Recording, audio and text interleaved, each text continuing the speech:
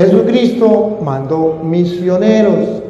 Por ejemplo, San Marcos capítulo 16, versículo 15. Cuando Jesucristo manda a los apóstoles, los manda como misioneros. Usted verá que Jesús muere y resucita. Según San Marcos, dice que Jesús los envía a una misión. Según San Mateo, dice que Jesús los envía, después de resucitado, a una misión. Según San Juan, dice que Jesús los envía a una misión. Entonces van a observar ustedes que es una misión. Jesucristo nos llama a ser misioneros. Escuchamos a Marcos 16, 15. Y les dijo, y les dijo, vayan por todo el mundo y anuncien la buena nueva a toda la creación. Vayan por todo el mundo. Ven que es una orden. No es si usted quiere, no digo Jesús, si a ustedes les parecen, si están de acuerdo, si les gusta. La palabra vayan es un mandato. Es una orden. Es una misión. Es una misión. Vayan por todo el mundo. Ah, observen, por todo el mundo. La misión es una misión universal. Los hermanos separados nos han preguntado a nosotros mil veces, ¿dónde aparece en la Biblia la palabra católico? ¿Por qué ustedes dicen que pertenece a la Iglesia Católica? ¿Dónde aparece eso? Pues en el mandato que Jesús le dio a los misioneros, a los apóstoles, fue un mandato católico, universal. Católico significa universal. Vayan, prediquen el Evangelio a toda criatura, a todo el mundo. Observen que en el pensamiento y en el querer de Jesucristo está la universalidad. Jesucristo es católico, universal. Y Él quiere que sus misioneros sean católicos, universal. porque la iglesia se llama católica? Porque esa es la tarea que Jesucristo le dejó para que nunca se olvide cuál es su misión. Es una iglesia misionera. Vayan, prediquen el Evangelio a toda criatura. Los hermanos separados no conocen qué significa la palabra católico, universal. Y no sabe por qué los discípulos de Cristo son católicos. Han recibido una misión universal. ¿Cuál? Otra vez, repítalo y sigue. ¿Cuál es la misión que ha recibido? Y les dijo, vayan por todo el mundo proclamando la buena noticia a toda la humanidad. A proclamar, hay una misión, una tarea. Tarea. Van a ir a predicar la buena noticia a toda la creación. Esa es la tarea. De modo que cuando la Iglesia Católica no predica, no está cumpliendo su misión. De modo que cuando un grupo de apostolados, renovación carismática, cursillista, Legión de María, eh, catecúmeno, grupo juvenil, o de ustedes, ¿cómo que se llama? Encuentros conyugales. Encuentros conyugales, que no prediquen la palabra del Señor a los demás, no son misioneros, no son católicos. La iglesia tiene como algo propio su misión de llevar el Evangelio a toda criatura. Hoy día el diablo está queriendo neutralizar a los discípulos de Cristo diciendo no hay que salir a predicar el Evangelio. Hay que dejar que todo el mundo crea lo que le venga en gana. Si Petronila cree una cosa, déjela tranquila. Si Pánfilo cree otra cosa, déjelo tranquilo. Usted no se meta en lo que no le importa. A ver, ¿a quién le hago caso? Jesús dijo, van a ir a predicarle la buena noticia a toda criatura. ¿A quién tengo que hacerle caso?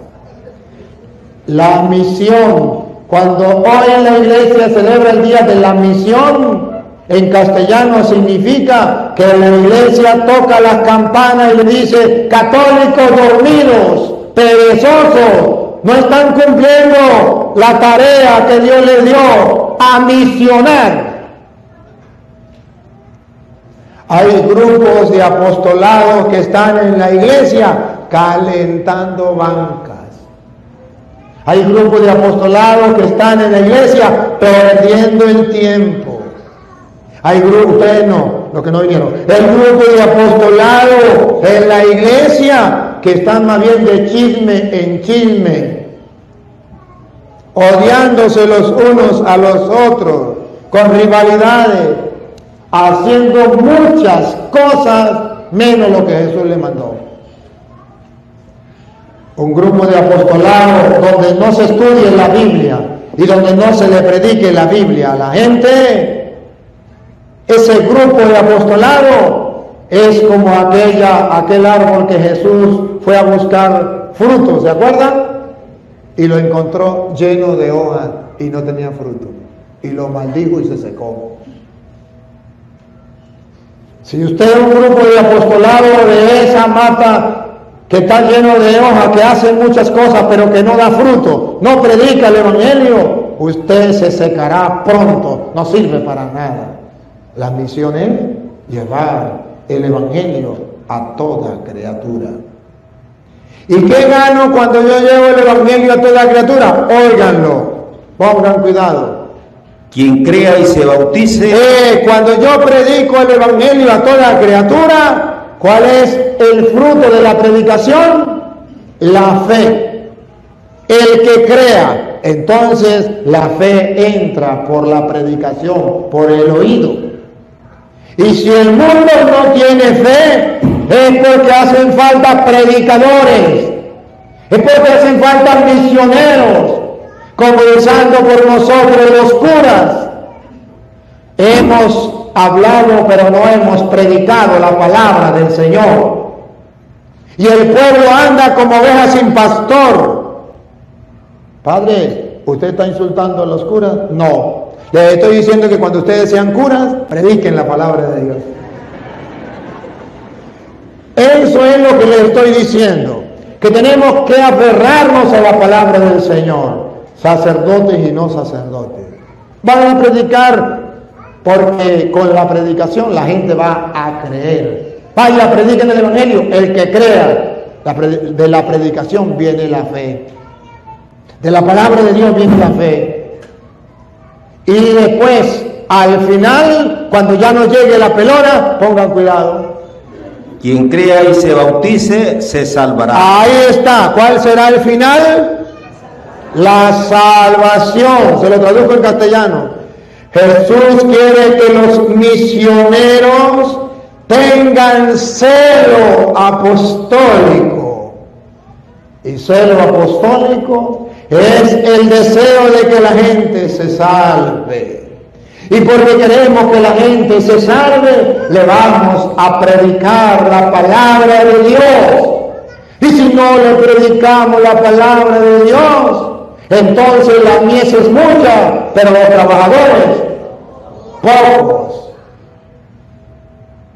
Entonces dice el Señor, rueguen al dueño de la mies que envíe católicos que prediquen la palabra. Porque eso ya no existe. Porque hemos abandonado a un lado la palabra del Señor. Vayan, prediquen el Evangelio a toda criatura. El que crea y se bautice salvará. Sigan. Quien no crea se condenará. Mm. Los misioneros, la iglesia de Jesucristo que es universal, católica, es instrumento de salvación. El que crea se salvará. El que no crea se condenará. De modo que usted y yo podemos ser instrumento de salvación para el mundo o también de condenación. Cuando usted no abre la boca, cuando usted no predica la palabra de Dios, usted es un instrumento de condenación para los demás. ¿Cuántas personas se van a condenar porque usted es un perro mudo, incapaz de ladrar? incapaz de decir lo que es malo, incapaz de ser portador del mensaje del Señor. Porque ustedes están esperando que lo hagan los curas. Y los curas estamos esperando que lo hagan los laicos. Y nos tiramos la pelotica. Para allí y para acá. Ya basta. Es urgente que los laicos asuman su responsabilidad. Es el tiempo de los laicos. Y los laicos dicen, es el tiempo de los curas, que despierten los curas. ¿Por qué no hacemos mejor como el rey León cuando hizo la fiesta y estaban todos los animales y se le acabó el agua y dijo, el animal más feo se va a buscar agua? El sapo miró al murciélago, el murciélago miró al sapo. Y le dice el sapo, ¿qué me mira? Agarre la vasija y vamos a buscar agua. ¿Por qué no hacemos así? Nos tiramos la pelotica, que lo hagan los curas. Y los curas, que lo hagan los laicos. Que me mira, la vacía y vamos. Vamos a predicar el Evangelio del Señor. La iglesia hoy nos dice, es el día de la misión, es el día de recordar que somos católicos, que Dios nos ha dicho, vayan a predicar el Evangelio. Si te gustó comparte en tus redes sociales, puedes encontrar el video completo en el canal del Padre Luis Toro o en escueladebiblia.com. Bendiciones.